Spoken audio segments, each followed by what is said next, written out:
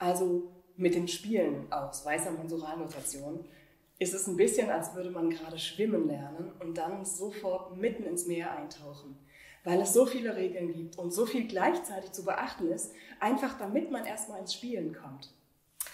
Keine Angst, man kann das alles der Reihe nach lernen.